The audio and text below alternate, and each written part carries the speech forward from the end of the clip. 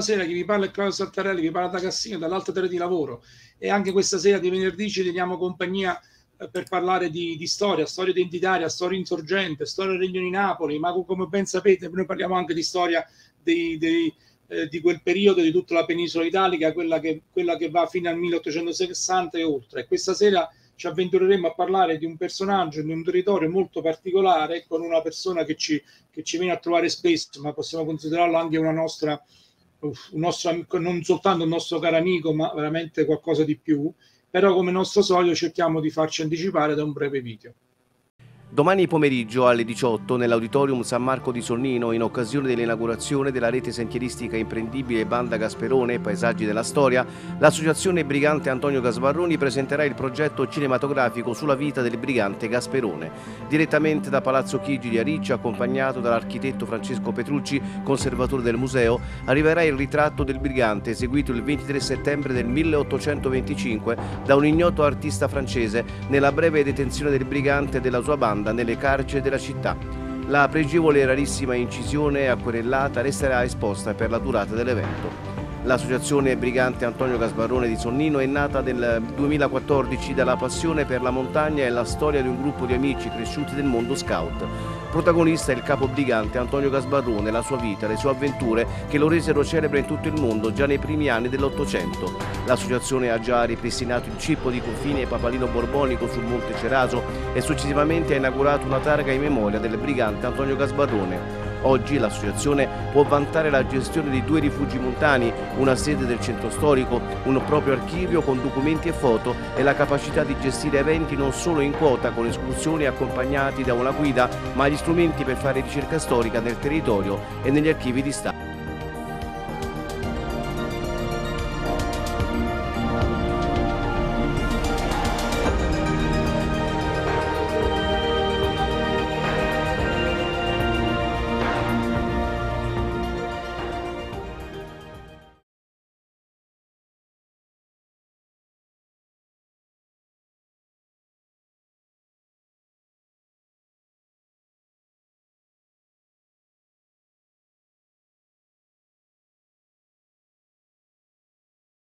Bene, avete visto questo video fatto a sonnino da una, una, un piccolo documento, un, diciamo un programmino fatto da una televisione eh, locale sulla la figura di Antonio Casbarrone da, da Sonnino.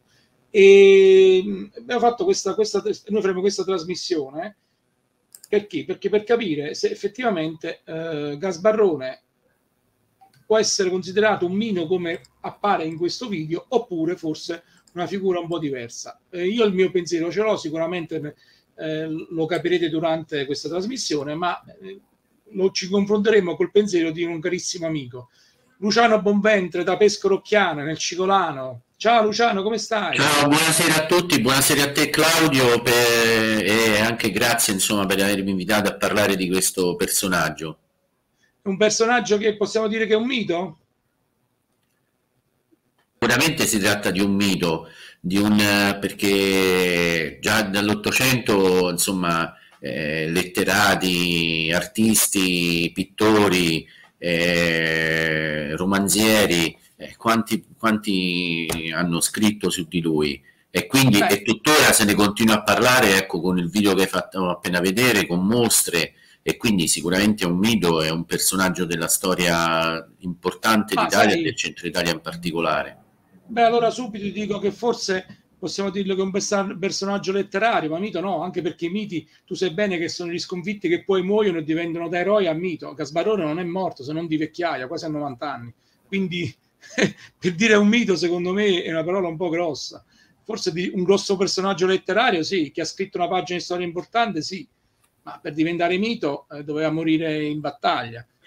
Quindi questo, questa è la, è la, è la, la figura. Beh, nel senso che è un personaggio sicuramente che ha, sopravvissuto al suo tempo e che sì, ha, ha assunto anche però tratti mitici, insomma, in ogni caso. Eh certo, però allora beh, beh, in quel periodo c'era Massaroni, Massaroni è morto combattendo, è stato, l'hanno fatto fuori, eh, Casbarrone no, però ne parleremo durante durante questa trasmissione. Eh, prima di andare a parlare Gasbarrone cerchiamo di inquadrare il periodo storico. Qui siamo in piena insorgenza anti-giacobina, anche napo- antinapoleonica dal 99 fino al 16. Tu sai bene che come in tutte le, le battaglie, guerre di, di resistenza, si, si, faceva affidamento a personaggi anche non certamente dalla reputazione cristallina, eh, quindi delinquenti o banditi che eh, cercavano di recuperare la reputazione combattendo per, per, per una causa giusta. Eh, e, ehm, però che cosa succede? Che molti di questi personaggi, molti di questi briganti che da insorgenti, da identitari, eh, fine de, a, alla fine di qualsiasi guerra, molti di questi non, non abbandonano la macchia e vogliono continuare a, la loro battaglia. E andando a stuzzicare e a provocare la reazione degli stati che erano degli stati che si erano ri, ricostituiti sia il regno delle, de, de, ancora del, di Napoli, il regno delle Sicilie, sia lo Stato papalino, eh, combattevano alla fine le persone che loro stessi avevano assoldato per combattere, per cercare di scacciare l'invasore giacobino francese. E, e, alla, e, e succede quello che succede che praticamente diventa una, una guerra interna e diventa una, una forma, contro, una forma di, di, di battaglia contro uh, delle forme delinquenziali. Questo è il quadro storico. Gasparone è uno di questi che, eh, finito le, le insorgenze napole- antinapoleoniche, tutto fa tranne che ritornare a miti consigli e continuare a darsi la macchia. Giusto? O ho detto qualcosa di sbagliato, Luciano? Sì, no, diciamo nel complesso sì. In realtà proprio lui, Antonio, eh, rimase un po' ai margini della, delle, delle, delle, insorgenze antinapoleoniche. E il fratello era stato, divenne, insomma, si diede alla macchia in quanto renitente alla leva francese, questo sì. Lui in realtà si diede alla macchina, come sappiamo, perché eh, uccise il fratello del, di una donna la, che, che, avrebbe voluto sposare, insomma, che si era opposta al fidanzamento e quindi lui l'uccise. E, e poi si diede alla macchina insieme al fratello e insieme ai fratelli Giuliani, che erano detti calabresi, che erano delle del, del, Regno di Napoli, della provincia di Cosenza in particolare, che agivano sul confine del, del, tra lo Stato Pontificio e il Regno di Napoli nel Basso Lazio in funzione antifrancese, eh, questo sì loro, e che erano in quel momento i capi banda. Lui in quel momento tra il 1810 e il 1815 eh, Gasparrone era giovanissimo perché aveva eh, insomma a 18 anni quando si diede la macchina, quindi ventenne, quindi non, aveva, non era ancora diventato uno dei capi. Cominciò a, a, con il sequestro di un, di un sacerdote e la sua, diciamo, la sua carriera e però rimase un po' ai margini insomma, della, della, delle insorgenze antinapoleoniche che poi proprio in quegli anni comunque avevano perso anche la loro in parte la loro vitalità che invece era stata molto importante ed efficace negli anni precedenti.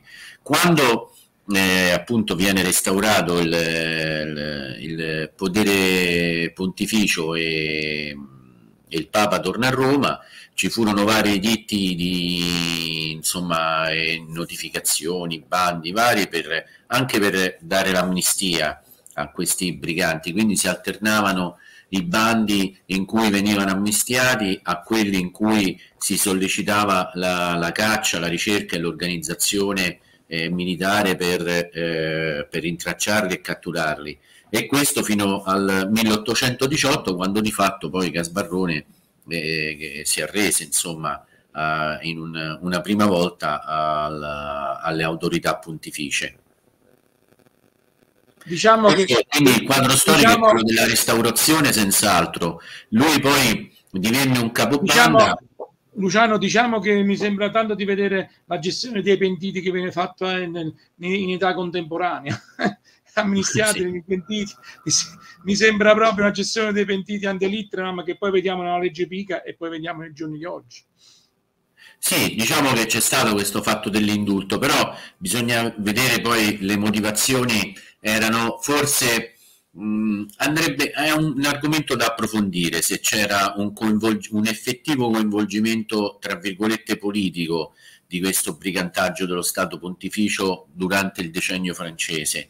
E, ehm, comunque proseguiamo, insomma, dopo appunto che eh, si arrese alle, alla, alle autorità pontificie eh, nel 1818, eh, fu eh, mandato in esilio, insomma, in, in Romagna, eh, dove rimase per due anni insieme anche alla sua famiglia, insomma, e poi fuggì nel 1820 per tornare nel, nel, nel, nello Stato pontificio, insomma, per tornare in patria a Sonnino e, e dove si unì appunto alle, a, all'altra banda che era capitanata da, da Massaroni.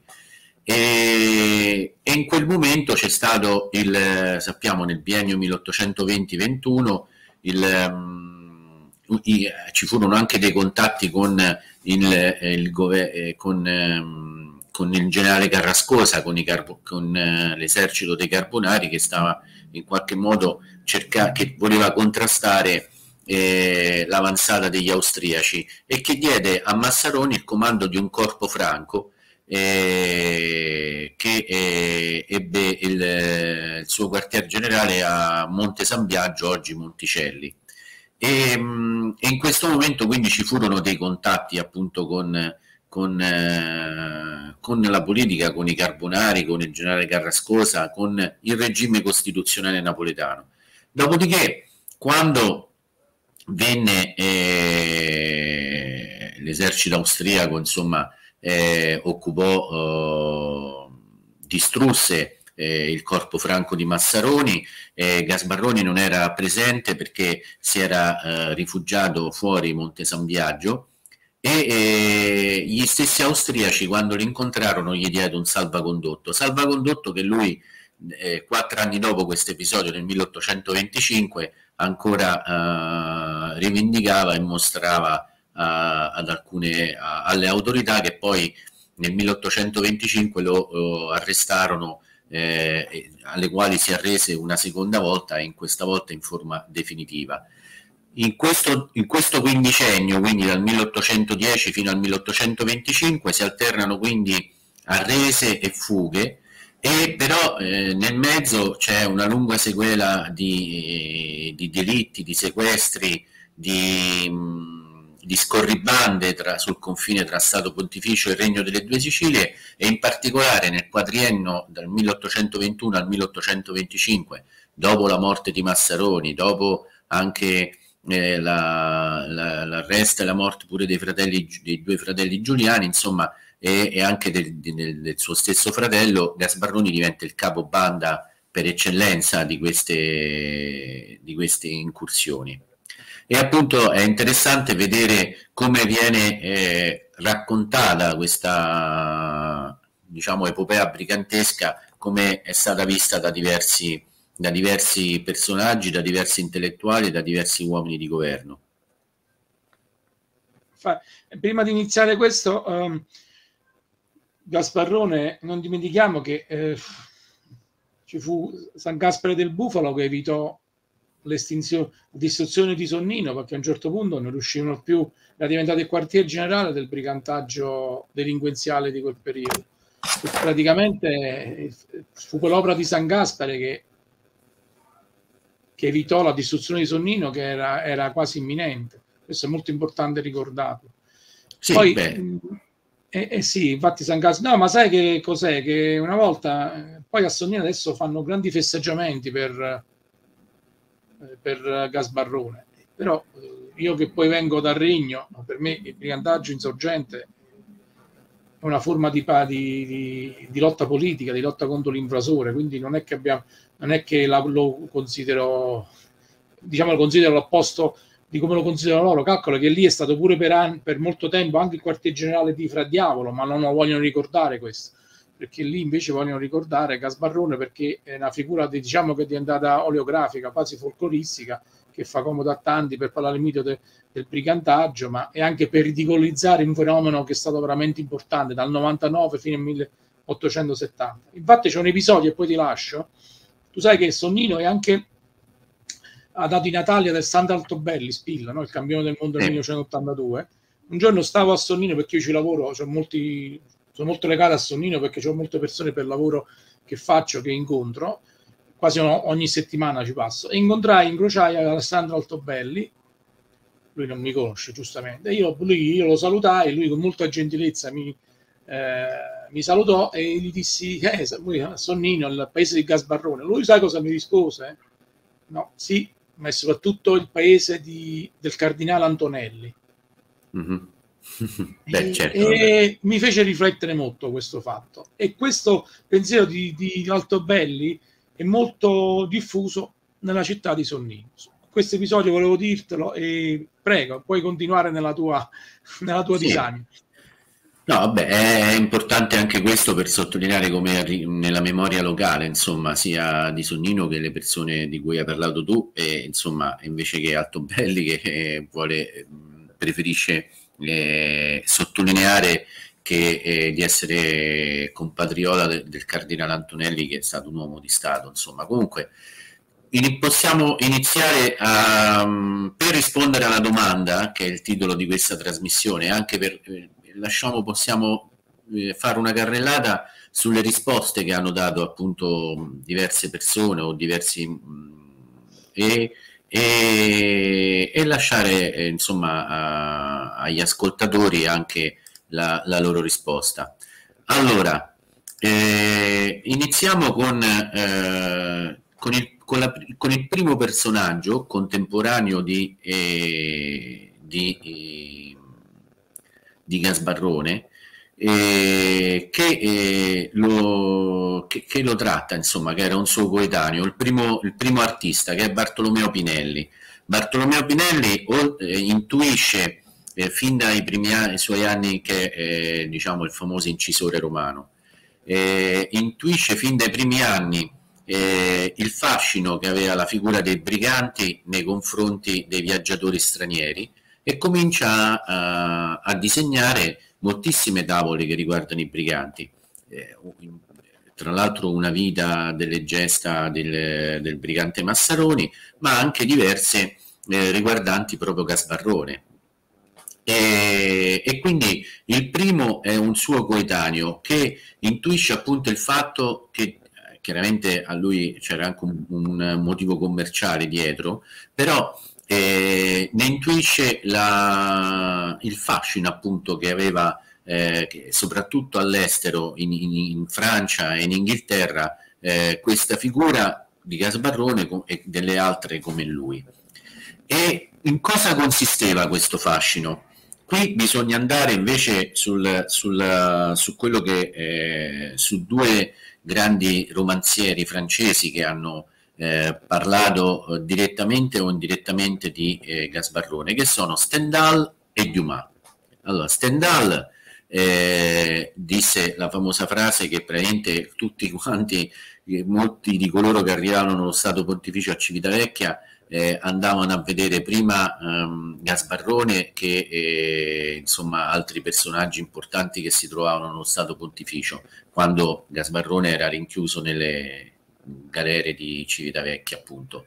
E, mm, e Dumas eh, praticamente si spi- andò anche, anche Dumas stesso andò a Civitavecchia a incontrare di persona Gasparrone e, e, e prende dedica una novella eh, a, a un brigante ispirato alla figura di Gasparrone nel Conte di Montecristo. Il personaggio di Luigi Vampa che si trova nel Conte di Montecristo è, è diciamo una rivisitazione eh, letteraria della, di Gasbarrone, appunto raccontata da Alessandro Dumas. E come viene, non solo loro, poi ci sono tanti ancora altri letterati francesi che l'hanno scritto, che, che, ne, che, ne, che, ne, trattano, persino un personaggio del Rigoletto di, di, del nostro Giuseppe Verdi è ispirato da Gasbarrone.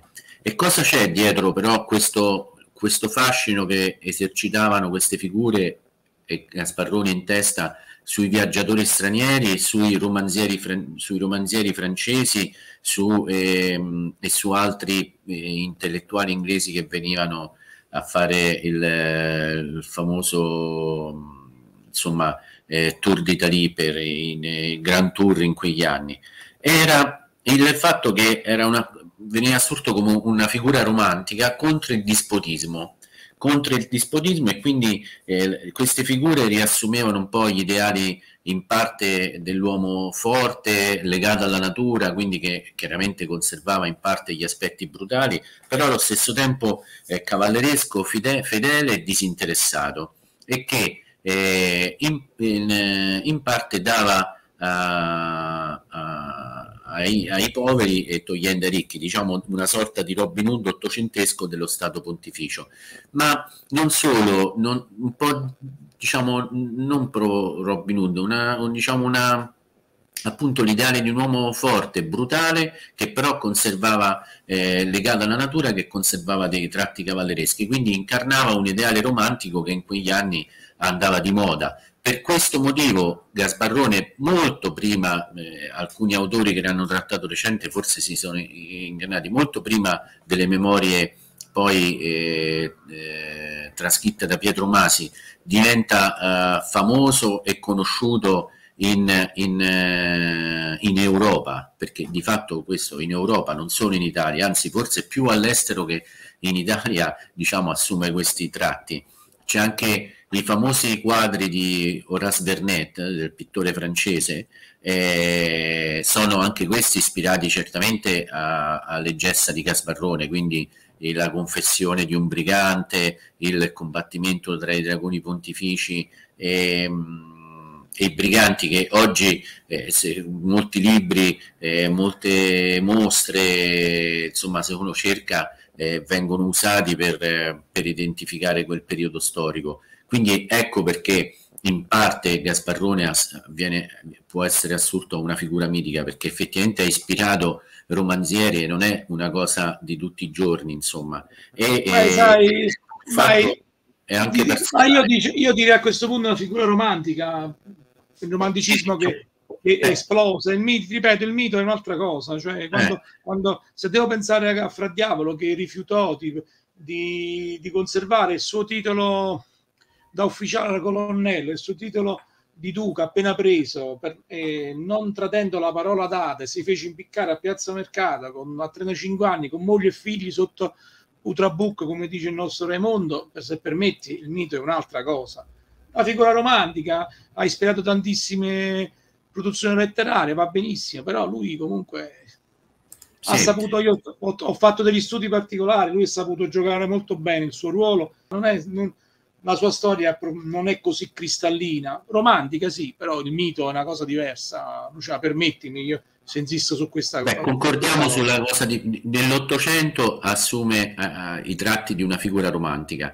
Eh, questo non solo ne, per appunto questi grandi romanzieri francesi o per i viaggiatori inglesi o per eh, un artista come Bartolomeo Pinelli ed anche il figlio Achille, ma um, anche nella poesia popolare c'è eh, la tarantella di Gasbarroni che veniva eh, che, diciamo cantata nei giorni di fiera intorno al momento dell'unità d'Italia del 1858 che eh, racconta le gesta di, sempre di, di Gasbarroni di, che all'epoca lo chiamavano così poi adesso nella lezione moderna è Gasbarrone il cognome. E, um, e, e appunto lo, anche in quel caso si sottolinea il fatto che si fosse data la macchia con eh, questo delitto passionale e anche il fatto del delitto passionale nella mentalità dell'epoca era il primo elemento eh, romantico che veniva attribuito al personaggio. Poi questo è chiaro che nella letteratura, nell'immaginario eh, dell'epoca, poi la realtà storica, eh, come per tanti personaggi, eh, è un'altra, insomma però eh, nel, nell'immaginario di quel momento è così, anche se c'è da dire un fatto che le incisioni di Pinelli eh, raccontano le gesta di Gasbarrone in modo fedele. Me, io quando ho letto la, la biografia eh, di Pietro Masi eh, eh, nell'edizione italiana, eh, diciamo che un po' stupisce il fatto che due persone che non si fossero conosciute, cioè Pinelli non ha con- forse ha, con- ha, visto di persona eh, il brigante Gasbarrone ad Ariccia nel 1825, infatti a Palazzo Chigi ad Ariccia c'è un ritratto dal vero di Gasbarrone, però eh, quando dopo, al momento del suo arresto proprio, quando lo stavano tras- portando a Civitavecchia, ma eh, che forse potrebbe essere di Bartolomeo, che molto probabilmente è stato fatto dallo, da Bartolomeo Pinelli, però quello che stupisce è che quando nelle stampe, eh, le stampe sono veramente immediatamente eh, collegabili a episodi reali accaduti alla banda Gasbarroni, quindi assalto alle dirigenze, eh, rapimenti di donne, eh, la donna, la nobile donna in, eh, della carrozza, insomma, cioè sono tutti episodi poi realmente che poi a distanza di 40 anni si ritrovano nelle, nelle biografie, nella biografia di Pietro Masi. E qui arrivi, e quindi appunto abbiamo detto eh, grandi eh, romanzieri, artisti eh, del, dell'Ottocento, la poesia popolare, eh, con appunto questa tarantella di, di, metà del XIX secolo. E poi eh, abbiamo anche eh, invece la, la, la, biografia. La biografia che fu eh, che come nasce la biografia famosa di Pietro Masi che viene pubblicata in Francia nel 1867 in pratica gli ufficiali francesi eh, Pietro Masi era, un, era, stato un segretario di, di, di Gasbarrone e, e, in carcere si mise a scrivere le sue memorie, a trascrivere le sue memorie. E diversi ufficiali francesi acquistavano queste, questi fascicoletti che scrive come se fossero delle, dei fumetti insomma o dei romanzi dei feuilleton uh, ante litteram eh, acquistavano questi fascicoletti che scriveva Pietro Masi lì a Civitavecchia e poi a Civita Castellana. E, um, un ufficiale francese ne viene a conoscenza e ha l'idea di eh, tradurli in francese perché Pietro Masi li aveva scritti naturalmente in italiano. Li traduce in francese in maniera organica e li pubblica e anche questi nel 1867 a 40 anni, come abbiamo detto dalle gesta di, Gasbarro, di Gasbarrone e dalle incisioni di Pinelli, diventano molto uh, diffuse in Francia però, perché in Italia queste mh, memorie di Pietro Masi furono pubblicate solamente dopo la seconda guerra mondiale negli anni 50, quindi diciamo che l'Italia rimane, anche se eh, le gesta di Gasbarrone sono state oggetto di pubblicazioni di diversi libri delle case editrici Salani da, dalla fine dell'Ottocento in poi. E quindi, però, se si i commenti, eh, se si legge per intero la biografia di Pietro Masi, ci si accorge che in già in questa viene sfrondata degli elementi, diciamo, romantici o mitici, perché semplicemente, è semplicemente una cronaca. Sono dei commentari di, di, quello che lui ha fatto, delle, dei rapimenti, delle scorribande, de, de, degli accordi oppure delle fughe rispetto all'autorità pontificie e a, alla fine confrontandoli con la realtà in massima parte possono, anche essere, possono essere anche ritenute attendibili. Eh, è chiaro che è il punto di vista del, di Pietro Masi e del brigante Gasbarrone, però comunque eh, sono piuttosto vicini al vero. Quindi eh, questo libro non, non mitizza affatto il brigante, ma racconta effettivamente quello, come una cronaca di, di Cesare, eh, veramente, eh, quello che lui ha, ha, fatto. L'altra cosa che volevo sottolineare è che in questo libro si trovano due cose che anche ci fanno vedere due punti di vista sul brigante Casbarrone, molto velocemente. Il primo, quello che l'ufficiale francese eh, che, ha, che, ha, tradotto in francese eh, il manoscritto di Pietro Masi, come lui che conobbe ed ebbe un paio di colloqui con Gasbarrone in carcere, vede, vide questo brigante? Beh, lo vede come un capo, perché praticamente eh, notò la, l'ascendente che ancora aveva sui suoi gregari che erano lì in carcere con lui, il rapporto di cameratesco che aveva con gli stessi e, e, e la figura, e lo descrive con una, senza esagerare, però lo descrive come una figura fiera, insomma. E, ehm, Beh, e allo... comunque, comunque, scusami, comunque Casbarrone parliamo di una, di una personalità molto forte, di un carisma incredibile, quindi parliamo comunque di un personaggio eh, che ha scritto storie importanti. Questo poi, come dici tu, Pietro Masi, l'ha narrato senza fare una, una, una scusate il gioco di parole, l'apologetica narrazione del personaggio, ma di quello che era, che comunque indubbiamente aveva aveva una forza e un carisma enorme, perché sennò altrimenti sì, sì, non, potevi, non, potevi, ispirare tantissimi letterati per quello... Per, sì. per... Era una Infatti moda quel periodo, eh. Infatti questo ufficiale francese lo descrive così e poi se uno ci fa caso è importante pure il primo capitolo della biografia di Pietro Masi dove descrive veramente eh, come vivevano i briganti e il regolamento quasi di disciplina che regolava la, che, che regolava la loro condotta.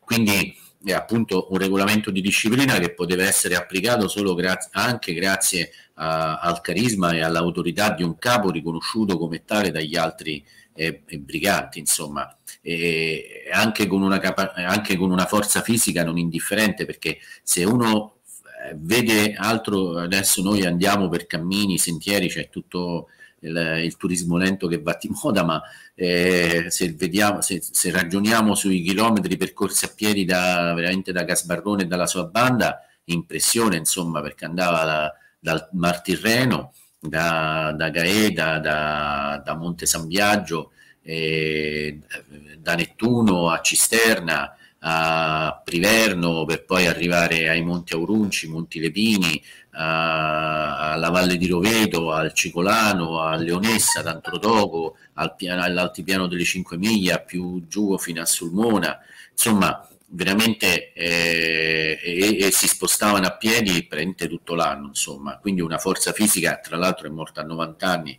che è un'età eh, ragguardevole per quei tempi, eh, non indifferente doveva avere. Sì, queste riflessioni le abbiamo fatte con altri personaggi, tra cui il, um, con altre persone che abbiamo intervistato effettivamente per fare quello che loro facevano eh, dovevano avere una capacità, una forza incredibile perché erano capaci in una notte di spostarsi per chilometri e chilometri in sentieri tortuosi e portavano le cioce ai piedi, eh, port- o gli scarpitti, non è che portavano le scarpe da trekking, erano veramente incredibili per quello che loro facevano. Effettivamente sì, eh, ma poi sai, la legge, del, la legge di natura ti imponeva a chi faceva parte delle bande di, di scegliere, sceglievano loro chi doveva essere il capo, come si faceva una volta, no? Era sempre, era sempre l'esercito che sceglieva l'imperator e il re, no? Qualsiasi sì. cosa accadeva. Questo carattere, allora, sempre nella biografia di Pietro Masi c'è un, un passaggio che permette di vedere anche in parte come eh, Gasbarrone considerava se stesso, sulla considerazione che aveva su, di se stesso, sempre raccontata da, dall'ufficiale francese. E in questo passaggio che si trova nell'introduzione, eh, praticamente Gasbarrone eh, paragona se stesso alle gesta eh, del, di Domenico Fuoco, dei briganti che agivano negli anni successivi all'unità d'Italia, insomma più o meno nello stesso territorio. Lui era dello Stato Pontificio, Domenico Fuoco come sappiamo era de, del, insomma, del, del Regno di Napoli. Era, ma, roba... ma, ma, si paragona e si paragona nel senso valutando le, le, l'operato di Domenico Fuoco e, e dicendo che insomma benché fossero bande di numero più consistente, quello che faceva lui insomma non era paragonabile perché era molto più in gamba, era stato molto più in gamba. Quindi una grande considerazione di se stesso, questo era quello, certamente questo pure opinabile, però Domenico, insomma... Domenico Fuoco, è che... Che, Domenico Fuoco è stato un altro che, eh, a parte lui si faceva chiamare Fra Diavolo perché il, viveva nel mito di Fra Diavolo, è stato un altro che non si è arreso ed è morto difendendo la propria terra, la propria no, patria. Certo, no, su questo siamo, siamo d'accordissimo, io sto riferendo solamente l'opinione di Gaston. Di un sottufficiale di un corpo speciale del regno, dell'esercito del Regno di due Sicilie, non stiamo parlando di uno Qui lo, l'abbiamo citato per dire quello che pensava Gasbarrone di se stesso, eh, certo, sì, sì, lo so, il so. paragone con questo brigante, che, cioè con questo poi insorgente più che brigante, che, che nel 1861, perché le memorie di Pietro Masi dovrebbero essere di quell'anno, già cominciava ad essere conosciuto, ma come potrebbero essere pure gli altri briganti Chiavone, insomma, gli altri, insomma, si paragonò al eh, brigantaggio post-unitario, eh, alle insorgenze post-unitarie del Regno di Napoli, con, diciamo, lodando se stesso, insomma, questo con, facendo, sottolineando eh, la, la, le proprie capacità. e quindi abbiamo un altro punto di vista su di lui. E poi abbiamo il punto di vista che viene alla luce eh, dai rapporti delle autorità e delle popolazioni, che sono quelle che mi sono trovato a studiare in prima uh, persona con uh, un uh, libro che abbiamo pubblicato come Comune di Pescorocchiano, i, i, eh, i luoghi del risorgimento nel, nel, nel, Comune di Pescorocchiano, dove abbiamo esaminato i rapporti eh, del periodo della restaurazione dei sindaci e dei comandanti della Guardia Civica del nostro territorio e dove è venuta alla luce che eh, sia la banda Vittori nel 1820 che quella di Gasbarroni dal 1821 al 1824 ha costantemente eh, frequentato il territorio di, del nostro comune e, e del Cicolano eh, in particolare. E questo è stato appunto oggetto di una pubblicazione. Ed è ecco, interessante ecco, vedere come vengono, de, come vengono come i sindaci e le autorità locali di Pescorocchiano eh, indicavano queste, stiamo, questi, questo gruppo brigantesco, come li indicavano come assassini, come masnadieri, come malfattori e come si fossero anche organizzati per, per, eh, per non farli avvicinare alle popolazioni eh, perché nel nostro territorio sequestrarono la banda Vittorio, sequestrò un possidente locale Antonio Gregori a Valdevarri e gli tagliò un orecchio e chiese riscatto, questo nel 1820 quando ancora Gasbarrone non era tornato dalle, dall'esilio, diciamo, dalla, dalla, dalla, reclusione, dalla prima reclusione. E poi nel 1821 eh, sequestrarono due sacerdoti proprio del nostro territorio, e sempre a Valdevarri e chiesero il riscatto. E questo le forze locali, capitanate da Giovanni Gregori, che era stato lui sì un insorgente in prima linea, che era il comandante della Guardia Civica, che è stato un insorgente, un capo insorgente del 1799, eh, uno di quelli citati nel, che fece parte del giuramento di Roio eh, come capomassa. Eh, del, e, lui fu appunto eh, Antonio Gregori era il fratello di Giovanni, la persona che era stata sequestrata, e il comandante della prima sindaca e poi comandante della Guardia Civica che nel territorio di Pescorocchiano contrastò Gasbarrone fu proprio lui. Quindi ecco qua che viene fuori che un, una, un capo insorgente eh, diciamo certificato eh, che eh, contrastava sul territorio Gasbarrone ritenendolo nei suoi rapporti un assassino e niente di più e un malfattore questo diciamo eh, stando ai documenti e quindi le autorità locali e anche la popolazione perché poi sul posto la guardia civica era composta dai capifamiglia anche di diversa estrazione eh, sociale, insomma, da, dalle famiglie che stavano, che erano piccoli proprietari terrieri fino a quelli che insomma erano quasi braccianti, che, eh, che dietro la caccia, specialmente appunto a Valdevarri, insomma,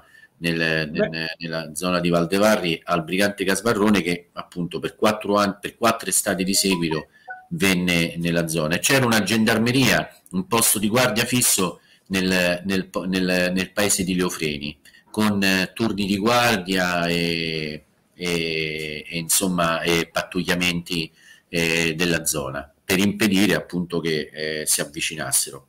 Questo è un altro aspetto, cioè di come le autorità locali e le popolazioni, stando ai documenti d'archivio, non solo del Cicolano ma anche del resto della linea di frontiera, e anche l'autorità pontificia con tutti eh, gli intendenti della provincia dell'Aquila, i delegati pontifici dello Stato pontificio, videro la banda Gasbarroni come, una, come dei banditi. Infatti il termine che veniva usato era quello di essere i forbando anche, no? In tanti come, come, come i? I forbando. I for? I forbando. Forbando. I forbando, così Comunque, Luciano, c'è da dire una cosa, scusa se ti interrompo. È molto importante la tua testimonianza perché noi parliamo del tuo territorio che eh, si è sempre contraddistinto per la fedeltà alla, mm, alla, corona napoletana ed è sempre stato in prima linea nelle, lot- nelle guerre insorgenti, sia nel triennio francese, nel triennio 96-99 e sia poi in quello dell'invasione francese successiva.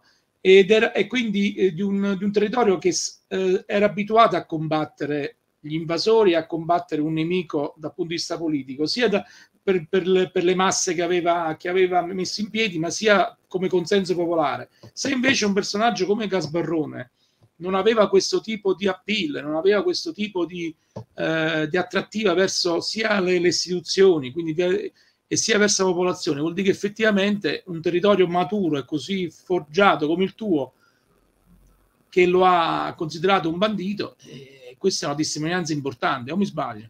Eh, sì, ma questo è inequivocabile, non solo Giovanni Gregori che è appunto, eh, insomma, eh, era stato, come ripeto, eh, un protagonista del 1799 e lo fu ancora eh, appunto nella caccia a Gasbarrone, ma anche il barone Raimondo Antonini, che fu un altro protagonista del 1799 che organizzò le masse del Cicolano contro i francesi per mesi e che eh, ne sbarrò appunto la venuta a Pescorocchiana in quegli anni, anche lui eh, fu, eh, in que- che in quegli anni era capitano della, della milizia, fu, era uno de- fu uno dei principali collaboratori locali del commissario del re eh, inviato per eh, distruggere la banda Gasbarrone, insomma. E questo per rimanere a Cicolano, poi se passiamo all'intera provincia dell'Aquila, eh, eh, senz'altro si potrebbero fare anche altri esempi del genere, eh, per cui eh, evidentemente era sentito come una minaccia, era sentito come una minaccia, mentre com- non erano mai state sentite come una minaccia, ma anche, anzi come dei difensori, le masse in, eh, appunto degli insorgenti, che, che, le, cioè le stesse popolazioni che avevano dato vita, che erano stati gli insorgenti di 22 anni, sono quelli che hanno dato la caccia a Gasbarrone. Eh, questo è il fatto. Ma lo, stesso, ma lo stesso Stato Regno delle Due Sicilie dava una, ca- una caccia spietata a questi personaggi. Eh sì, quindi, non... quindi questo, questo, come è fatto? Poi le riflessioni si possono fare, però insomma le opinioni si può, per carità, il dibattito... Vabbè, eh, infatti, poi ognuno, però... vabbè, ma ognuno ha, il suo, ognuno ha le sue di opinioni, però sai, come noi scriviamo sempre, l'unica, cari, l'unica carità che possiamo concedere alla storia è la verità, e come dice Cretino, e quindi i fatti sono questi. Certamente, per esempio, un altro, come accennavo prima, Massaroni. Massaroni volevano ammazzarlo a tutti i costi e sono riusciti questa voglia di ammazzare Gasbarrone non c'era. Quando, e quando un potere eh, costitu- costituito che eh, non vuole mh, mm, colpire a morte, non vuole eliminare definitivamente, diciamo tra virgolette, un, una, una, figura delinque- delinquenziale, un motivo ci deve essere per forza, e pensa ai giorni nostri. Invece Massaroni eh, avevano tutti voglia di... era incontrollabile perché forse era un po'... Eh, aveva, era più spinto da ideali importanti. Poi arrivò pure al fanatismo, addirittura Massaroni a un certo punto cominciava a celebrare, a quel di fondi cominciava a celebrare il matrimonio a posto del prete e tutti andavano da lui. Ci fu un periodo che era, raccontano le cronache dell'epoca, che, che praticamente fecero, lui ha celebrato anche dei matrimoni. E quindi lui, Massaroni, gli davano la caccia per poterlo uccidere. Eh, Gasparrone no, eh, Questo è un altro elemento di riflessione. Però, no, infatti, no, la cosa, io penso che la ricerca, se, o la, o la, allora, la, questa è la, ricerca... mia opinione. In questo momento ho detto la mia opinione, però sì, no, no, realtà è questa. Io posso aggiungere questo: che secondo me eh, sia la ricerca eh, documentaria che il dibattito storiografico si potrebbe accendere proprio su questo tema che hai posto adesso. Cioè, nel biennio 1818-1820 eh, lui viene recluso, ma di fatto è un esilio dorato, perché comunque eh. è, è, era pensionato dello Stato Pontificio, cioè una Perfetto, persona che comunque sì, già aveva eh. ucciso e già aveva...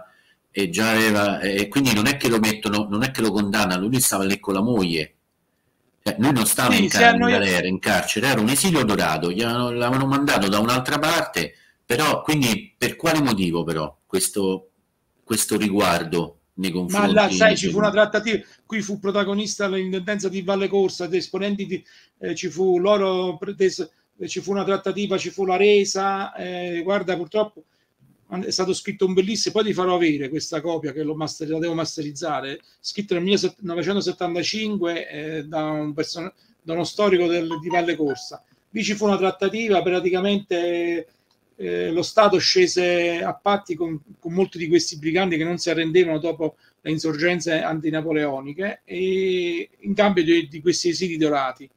Però poi questi dice che praticamente quando sta, lo stesso Mastroia, quando stavano in esilio, eh, pure, pure, con le mogli, la loro spirito non, non, non, riusciva ad acquedarsi, molte volte si annoiavano, addirittura facevano anche delle, delle, delle operazioni non brillanti dove loro venivano ospitati perché si annoiavano, soffrivano di noia, forse la loro verve non riusciva a, a placarsi e mm. quindi poi ritornavano, ecco perché poi venne pure nel Cigolano. E questo aspetto brigantesco andrebbe, questo, di questo, questo aspetto storico andrebbe approfondito come dici tu, e lasciamo troppo spazio alla fantasia romantica secondo me, invece io ti devo fare avere questo libro, purtroppo questo, questo autore ancora esiste, è, vivo, però non, non, non, gode di ottima salute e non, e non ha voluto rilasciarmi un'intervista però è un libro molto molto importante, ma minuzioso, con ricerche d'archivio incredibili, scritto nel 1975. Pensa tu. Beh, e... Eh beh, eh, diciamo che sarebbe da centrare anche un dibattito su questo, insomma, magari, cioè, eh, diciamo di fare no, delle no. ipotesi. Comunque, continuiamo a vedere anche come è stato, come è stato visto, considerato, come altri hanno visto la, la, la figura di Gasparrone. Abbiamo detto l'autorità, le popolazioni e poi ci sono due avvocati eh, in un libro, questi sono tratte, questi giudizi sì, sono tratti da un libro che ha recentemente scritto Fulvio D'Amore, insomma, sul uh, Gasbarrone, eh, l'avvocato Luigi Pianciani che lo definisce Gasbarrone un ladro di strada pubblica, quindi eh, si riferisce al brigantaggio, insomma, al brigantaggio endemico del, del, del centro-sud Italia eh, e lo insomma, e lo definisce in pratica un bandito, mentre invece c'è un altro avvocato, sempre contemporaneo di, di,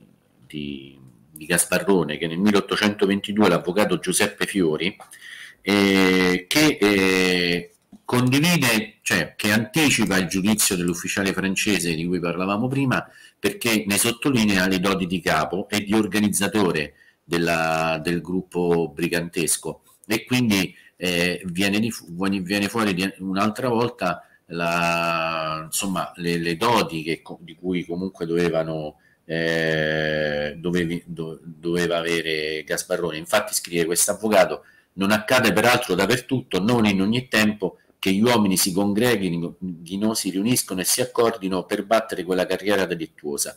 Cioè vuol dire che insomma aveva anche delle capacità eh, di, di trascinatore eh, Gasbarroni. Quindi eh, questo ehm, dunque, da, quindi da una parte alcune persone che lo vedono come un capo, mentre invece altri che lo vedono sia l'autorità locale che le popolazioni, che l'altro avvocato Pianciani di cui abbiamo parlato, come un bandito to cure, insomma.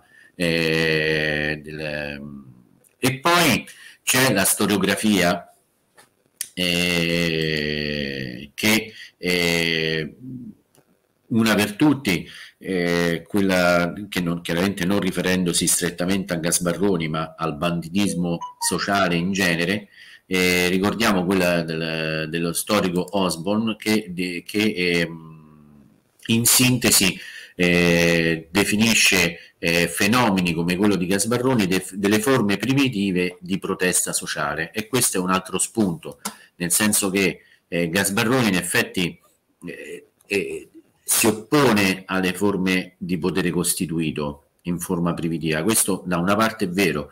Ora, se sia una protesta sociale, questo è, è, è, bisogna, Va, insomma... Vabbè, Luciano, tu sai bene che per una certa ideologia ci mettono sempre protesta sì. sociale, sociale, su sociale. Questo, su questo la, pre, la, pietra d'inciampo nel suo caso è questa che de, de, delle, delle altre ricerche hanno portato alla luce che Gasbarrone, che la famiglia di Gasbarrone non era una famiglia di semplici vaccari, cioè loro eh, erano una famiglia di possidenti locali. No, ma non erano morti di fame. Piccoli possidenti locali. Erano quindi... benestanti Gasbarrone.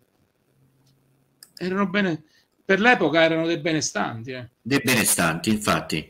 E, e, quindi, e, quindi, in questo caso bisogna vedere fino a che punto protesta sociale fatta da benestanti stessi, insomma, che aggrediva probabilmente persone del, del, del suo stesso ceto. Però, eh, però chiaramente poi riferendosi c'è da, dire a... che c'è, c'è da dire che comunque tutta l'Europa, perché noi parliamo sempre della seconda guerra mondiale, parliamo sempre eh, quello che ha fatto Hitler, Mussolini e tutto il resto, ma noi non dobbiamo dimenticare che tutta l'Europa, dopo l'epopea di Napoleone, era nel deserto più assoluto, c'era un'anarchia terribile in tutta Europa, quindi eh, c'era confusione totale, veramente eh, non aveva lasciato nemmeno un filo d'erba a Napoleone, eh. c'era una miseria ovunque e soprattutto un'anarchia da tutti sotto i punti di vista, perché poi Napoleone è stato devastante nella sua opera, questo non dimentichiamo. Eh. Il post napoleonico fu terribile per tutti eh. e forse chi l'ha superato meglio di tutti è stato Ferdinando II di Borbone con le sue politiche economiche e sociali veramente di primissimo, rilievo, di primissimo livello e mai fatte prima e nemmeno dopo. Quindi c'è anche da, da, c'è anche da dire questo, ma poi molto, può darsi, questo è sempre il mio pensiero, può darsi pure il fatto una persona che poi rimane affascinata dal proprio ruolo, si sente leader, si, in questa anarchia, si, infatti ti ripeto, lui non, non, non riusciva a staccarsi questo, da questo suo modo superante nella vita quotidiana. E non è semplice per un capo eh, della sua portata che lo era fare la vita normale, eh. forse l'ha fatto in carcere alla fine della sua vita. Beh, è stato in carcere, beh, non lo so, perché anche questa è un'altra considerazione. Gasbarrone è stato eh, ehm, in carcere, aveva 32 anni nel 1825, era giovane ancora. E poi eh, è vissuto in carcere, in pratica è stato rilasciato nel 1871 all'indomani di Porta Pia, quindi eh, ha fatto più di 40 anni di carcere, ma quando è andato in carcere a Civitavecchia aveva 32 anni, eh? era, era, giovane ancora. Eh, ho capito, però Quindi, guarda caso viene liberato con l'unità d'Italia. Con l'unità d'Italia, sì, certo. Ma infatti è, guarda, è quello che abbiamo detto prima, bisogna studiare ancora, cioè se questa mh, definizione di Osborne, forme primitive di protesta sociale, oppure se c'era una forma di se veniva, se, era una, se erano persone in qualche modo usate o strumentalizzate da, dai poteri politici di turno o se veramente era un, eh, un bandito eh, di natura e basta. Certa, qui abbiamo semplice, semplicemente eh, raccontato come, come, come, nel tempo e nello spazio è, stato, è stata letta la figura di Gasbarrone, insomma sono quelle che abbiamo detto, figura romantica, pericolo pubblico, ecco, riassumendo figura romantica, pericolo pubblico, bandito o eh, eh, uomo che lotta contro il dispotismo, brigante che lotta contro il dispotismo e contro Ma i soprusi. Queste sono le possibili chiavi di lettura. Oppure anche uomo strumentalizzato dal potere, dal potere politico, eh, perché anche questo Senti, Luciano, c'è da dire questo, c'è da dire questo, Luciano. Non dobbiamo dimenticare che Gasbrone ha due elementi importanti. Primo, non è stato ammazzato, è stato tenuto in carcere, quindi lasciato in vita. Secondo, è stato liberato con l'unità d'Italia. Quindi non sappiamo che cosa c'è sotto. Si può sospettare. Forse aveva, teneva sotto ricatto qualche personaggio importante dell'epoca, non lo sappiamo. Certamente lui non è né morto come tanti altri come lui di quel periodo, e, eh, ed è stato liberato immediatamente l'unità d'Italia. Un, un, una sorte simile alla sua, che non è morto, però naturalmente di uno spessore completamente diverso, che aveva creato un esercito dal nulla, che però anche lui non è morto, è, è morto in carcere, è Carmine Crocco. Quindi forse questi due personaggi hanno, hanno, in comune una cosa, che hanno combattuto più che altro la, la loro guerra, la loro battaglia. Sì, lui, lui, poi di fatto alla fine non muore in carcere, ma addirittura eh, va a vivere, esce dal carcere e va a vivere a Trastevere, eh, Gasparrone, mm. e poi viene per quando veramente ormai era in età senile, insomma, eh, viene, va a vivere gli ultimi anni in un, in un, in, diciamo, in un istituto eh, religioso per, eh, che, che per dove veniva assistito, insomma. E, dunque, adesso abbiamo detto tutte le diverse opinioni, arriviamo a un'altra, che magari questa è l'unica che sicuramente sappiamo che non si può condividere, e però viene, la citiamo apposta per sottolineare il fatto che non, che non, è da condividere, che è quella di ehm, Cesare Lombroso, eh, che praticamente eh, si fece dare il, da, si fece dare eh, il, il, cranio di Antonio Gasbarrone per studiarne i tratti somatici e in degli articoli pubblicati nel 1883 eh, lo descrisse, disse, se, affermò ecco, che eh, eh, Antonio Gasbarrone porge il vero tipo del delinquente nato. Ecco, questa opinione diciamo così basata appunto sulla, sulla teoria lombrosiana eh, di stampo razzista. E, Vabbè, sai, sai noi abbiamo fatto due... È l'unica abbiamo, che sicuramente non può essere condivisa. Abbiamo fatto due trasmissioni sull'Ombroso, una con Domenica Annantuone e di recentissima con il professor Gangemi, in cui praticamente Cesare il Gasbar, cioè Lombroso, stiamo, stiamo, parlando di un personaggio che forse ha fatto più danni eh, nell'unità d'Italia che, che, altri eroi della patria, perché ancora oggi noi andiamo in giro per il mondo con questo mandello lombrosiano che, che dobbiamo a tutti i costi toglierci, facendo capire ai nostri giovani, soprattutto che siamo, noi viviamo sulle spalle di un gigante che è la civiltà napolitana, non certamente con le teorie di Cesare Lombroso. E quindi, vabbè, Cesare Lombroso, un personaggio veramente per molti aspetti squallido, addirittura c'è un museo a lui dedicato, gli stessi suoi colleghi scienziati, come ci ha detto sia Dan, Ian Antoni che Gangemi lo hanno deriso, lo hanno proprio detto ma che stai dicendo, addirittura il suo amico fratello, di che parliamo. E, però purtroppo Cesare Lombroso è presente ancora nella vita quotidiana di noi napolitani e ne stiamo pagando ancora le conseguenze. Eh, gli amici ascoltatori, per completezza di informazione, appunto diciamo che eh, Gasbarrone uscì dal, dal carcere nell'agosto del 1871, appunto dopo, la, dopo Porta Pia. E dopo. Un periodo, L'anno dopo. Visse un periodo a Trastevere e poi eh, fu trasferito nella pia casa degli incurabili di Abbiate Grasso, eh, diciamo che era amministrata dalla Congregazione di Carità eh, di Milano. E, e, appunto fu lì che Cesare Lombroso chiese eh, il suo teschio, il suo fucile i suoi abiti, insomma, a questo, a questa, a questo istituto, diciamo, a questa pia casa. E, mm, e allora, e qui appunto abbiamo parlato di Cesare Lombroso, ora veniamo appunto alla memoria di Gasbarrone eh, attuale, allora, in primo luogo ci siamo noi che ne abbiamo dedicato questa trasmissione questa sera.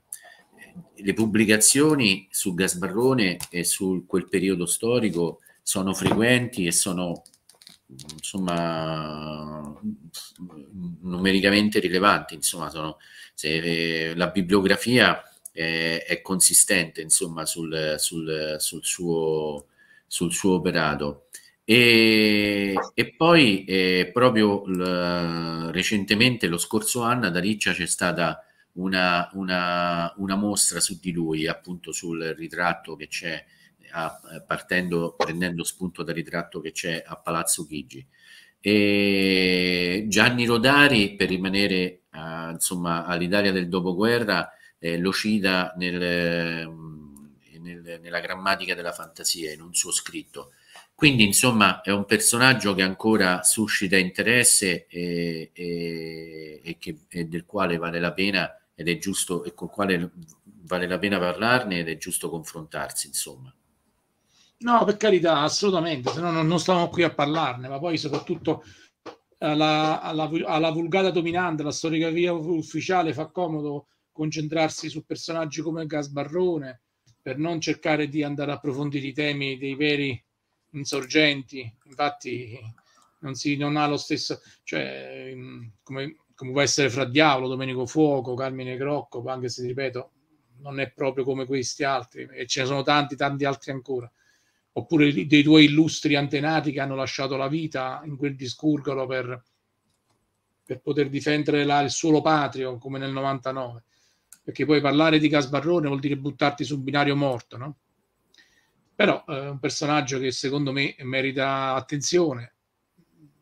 Io posso dirti questo, che quando vado spesso a lavorare a domicilio a, a Sonnino, mi capita spesso di trovare case, soprattutto in campagna, dove mi fanno vedere che c'erano le gallerie che loro antenati interne alla casa che costruivano quando eh, arrivava per difendersi dai briganti che andavano a saccheggiare.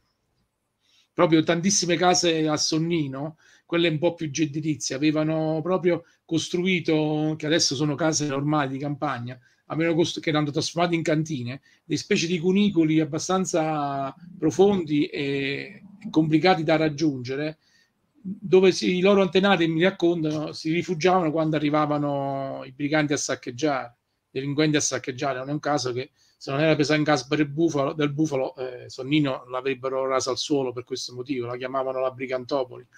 Però, eh, allora che possiamo dire per conclusione? Come lo dobbiamo considerare, ma Gasbarrone? Un vero e proprio personaggio romantico o, eh, o qualcosa di più? Beh, un allora, personaggio... come lo vogliamo considerare? Io diciamo che la risposta la lasciamo agli ascoltatori, però personaggio romantico lo è stato, non per nostra scelta, ma perché insomma... No, lo è ancora. Lo è ancora. perlomeno, perlomeno Pinelli e Diuma ce l'hanno fatto diventare. Questo è sicuro, perché insomma, eh, voglio dire, un personaggio del Conte di Montecristo è, è, è basato su di lui. Se sì, poi qui la domanda è quella che ci siamo fatti prima, se è stato a parte le, le, considerazioni senza senso di lombroso, se è stato un bandito o se, o se appunto è stato anche un insorgente o se è stato un uomo eh, che insomma viveva nel suo tempo. Ricordiamo anche che era un tempo dove l'attitudine alla, alla violenza effettivamente era diffusa, insomma. Se pensiamo... Eh, ma fino a pochi, ma fino a, a pochi decenni fa, eh, fino agli anni 60 sì. era diffusissima, inizio degli anni 70. Eh. Sì, cioè accoltellamenti, delitti passionali, insomma, erano all'ordine del giorno, non è che eh, in tutta Italia poi, non è che. No, nel... ma in tutta Europa, in tutta Europa. Eh, in tutta Europa, appunto, quindi insomma, non è, non è... però bisogna vedere se è stato... Se io devo dare il mio giudizio, diciamo forse come insorgente eh, politico, non lo so, perlomeno lui personalmente eh, forse non, più frate- ce lo vedo forse più, fratello, forse più il fratello. Il fratello, beh, il fratello è stato renitente alla leva, insomma, quindi questo...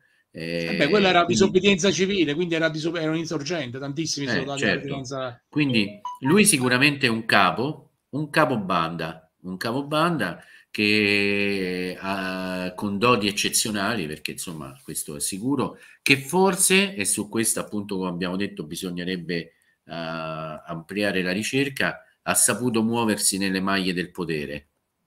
Eh, bravo. E dei diversi eh, poteri. Appunto, mi viene, in mente, mi viene in mente a tantissimi personaggi attuali, no? eh. del penditismo attuale, gente che si è sempre saputo muovere bene. Io, guarda, un'ultima domanda, c'è un episodio che, sua, un, un suo episodio, nelle sue gesta, in cui ci fa pensare che poteva essere forse un insorgente? A me non risulta. A te? No, eh, no, perché no, perché insomma lui appena uccide questa, il fratello di questa ragazza, poi il primo atto che compie è il rapimento di un sacerdote, cioè non è che va a combattere i francesi, insomma, non ha mai eh, combattuto. Questo... Non, io non sono a conoscenza di scontri con truppe francesi. Né lui è un capo... Prego? lui è un capo banda, non un capo massa. Eh sì, sì, questo è quello che credo che andrebbero qui approfondite le figure che forse sono state, sono state messe, diciamo, sono rimaste eh, su, sullo sfondo dei fratelli Giuliani, cioè i due calabresi che operavano nel Basso Lazio in quel periodo storico, quello che hanno fatto loro. Non so, io questo confesso la mia ignoranza, se c'è uno studio specifico su di loro, su, su della, della banda che inizialmente, della quale inizialmente fece parte Gasbarrone, però in quei quattro anni, dal 1810 al 1814, cioè, si è scontrato di fatto con le autorità francesi per motivi politici, non mi sembra, insomma.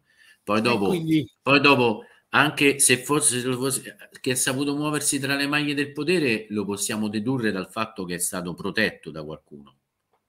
Sì, è ti questo. ripeto, per fo- ma per eh, forza, se no altrimenti non poteva rimanere in vita eh. e non poteva essere liberato con l'unità d'Italia. Bisognerebbe capire qual è stato il suo patrino, perché ci sono delle, ci sono delle coincidenze troppo clamorose sulla figura eh. di Casbarro.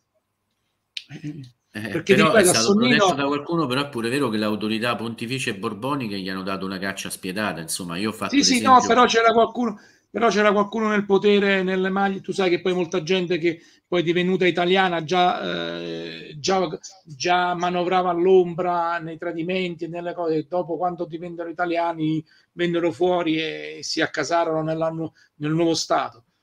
Ti ripeto, io a Sonnino, se, se chiedo di Fra Diavolo, eh, che è stato lì ha lavorato anche lì, ne parlano come un delinquente, assurdo, guarda. E mentre parli di Gasparrone, però per alcuni, eh, soprattutto chi eh, lo sta facendo come, come attrattiva turistica, e lo posso anche accettare. Eh, Gasbarrone è visto in maniera div- più, più nobile. Purtroppo non possiamo farci nulla, però eh, ti ripeto, lo stesso Sonnino, c'è molta gente che non ne parla in maniera entusiasta e soprattutto anche le persone più semplici, più umili, che tu pensi che non hanno studiato molta storia, invece ti rendi conto che ti parlano del cardinale Antonello, un uomo di uno spessore incredibile, l'ultimo uomo di Stato dello Stato Pontificio, e, e che è, dato, è, stato, è nato a Sonnino. No, possiamo aggiungere un altro, un altro tassello, insomma, sulla...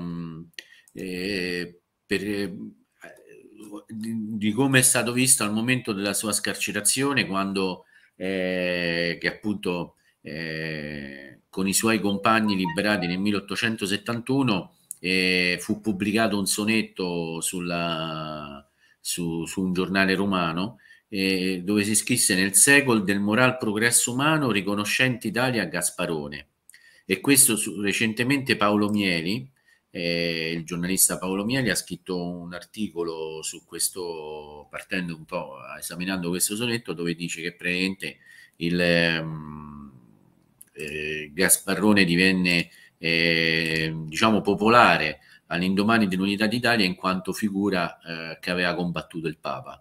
Quindi eh, noi ci stiamo chiedendo se era un insorgente e invece eh, appunto nel 1871 ci sono questi versi di questo sonetto nel secolo del moral progresso umano, riconoscente Italia a Gasparone, e fu popolare in quel determinato periodo storico, appunto dopo l'ingresso delle truppe. Ah, quindi possiamo considerarlo un eroe risorgimentale a questo punto, visto che... Eh, beh, ecco perché, loro lo considerano... Ecco perché... Ecco, no, ma pure oggi, allora ecco perché viene sempre festeggiato, che è considerato sì. un eroe risorgimentale e quindi viene, viene liberato nel 71. Sì, nel 71 viene liberato. beh, su questo sarebbe, bisognerebbe leggere, insomma, tenere presente, ecco, più che leggere, tenere presente anche questo articolo di Paolo Mieli sul, sul perché ehm, Gasparro, Gasbarrone fu oh, eh, popolare all'indomani dell'unità d'Italia. Beh, certo, c'è di, più che dell'unità d'Italia, all'indomani della presa di Roma eh. Sì, la presa, diciamo il compimento dell'unità d'Italia. Il compimento dell'unità di sì. La, la fase, ecco, questo è un aspetto che, che adesso, adesso, forse alla fine di questa trasmissione mi sono date tante, mi, sono, mi sto dando tante risposte. Va bene così, ho capito tante cose. Perché, perché di tante cose ho capito. E allora a questo punto è normale che L'insorgente non lo era perché non ha combattuto di far Jayce. Diciamo che era Giacobino pure lui a questo punto. si può dire che era un Giacobino pure Gasparrone. Beh, diciamo che sì, e poi Giacobino tra, vir- che comunque tra virgolette dico, Carrascosa dice cioè, non, ma è più che Giacobino, non lo so, questo insomma come ripeto va un po' approfondito. Tra virgolette insomma, parlo, eh. Ci vorrebbe qualche altro mh, studio ancora per definirlo, insomma. Però Vabbè, se Mieli gli dà eroe risorgimentale è così, eh. Beh, fu, per, perlomeno in quegli anni fu ritenuto tale, insomma, fu, a, a, a, fu, messo nella galleria, in quella galleria lì fu messo. Eh, ma infatti sa, è pure il ritratto in un palazzo istituzionale, come detto prima, romano. Eh?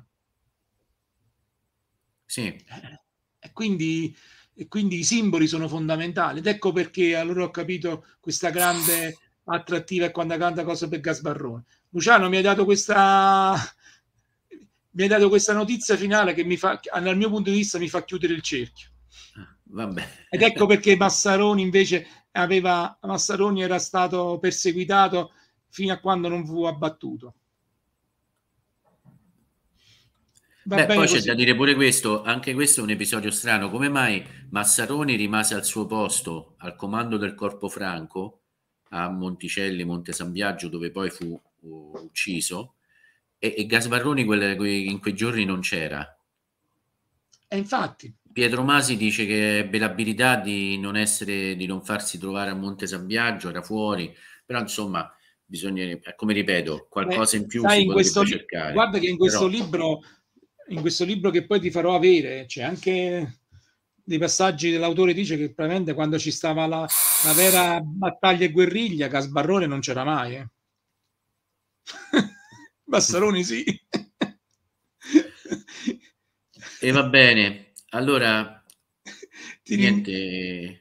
ti ringrazio Luciano, sei stato come sempre prezioso aiuto e mi hai veramente illuminato fin dall'inizio, ma la chicca finale mi è servita per capire altre cose che non avevo ancora compreso appieno. Ti ringrazio caldamente e sicuramente ti, ti, ti disturberemo per altre informazioni perché sei una fonte di, eh, sei un archivio storico, soprattutto per quanto riguarda la nostra terra e il nostro regno. E quindi ti, ti disturberemo ancora per darci altre notizie. Grazie Luciano. Va bene, grazie Claudio, grazie a te e a tutti gli amici di Alta Terra di Lavoro. Un saluto. Grazie.